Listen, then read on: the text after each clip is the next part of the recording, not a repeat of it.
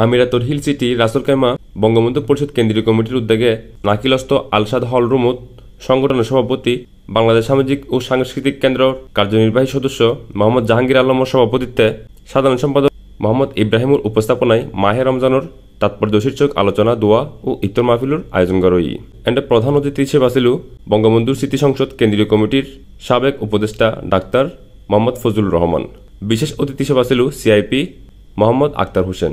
বঙ্গবন্ধু স্মৃতি সংসদের উপদেষ্টা চেয়ারম্যান আলী আকবর চৌধুরী, সাবেক সভাপতি সি এম আবদুল্লাহ, বঙ্গবন্ধু স্মৃতি সংসদ কেন্দ্রীয় কমিটির সভাপতি সাংবাদিক এম এ মুসা, বঙ্গবন্ধু স্মৃতি সংসদ রাগ কেন্দ্রীয় কমিটির সভাপতি প্রকৌশলী জসিমউদ্দিন, বঙ্গবন্ধু পরিষদের উপদেষ্টা বাবু কাজল রায়, মোহাম্মদ শাহাবুদ্দিন, মোহাম্মদ ইব্রাহিম জাফর উদ্দিন চৌধুরী সহ অন্যান্য নেতৃবৃন্দ এতে উপস্থিত আছিল।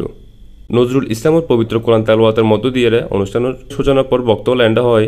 উন্নয়নের ধারা অব্যাহত রাখিবেলাই আবারও নৌকায় বুট দিয়ে আগামী নির্বাচনত বঙ্গবন্ধু তনয়ারে প্রধানমন্ত্রী বানন করিব ডেক্স নিউজ সি প্লাস টিভি। এই যে দেখো কেওয়াই এর মুরগি মার্কা ঢেউটিন দিয়া বানানো আমার ঘর। কেওয়াইয়ের মুরগি মার্কা ঢেউটি লাগাইলেই হিট।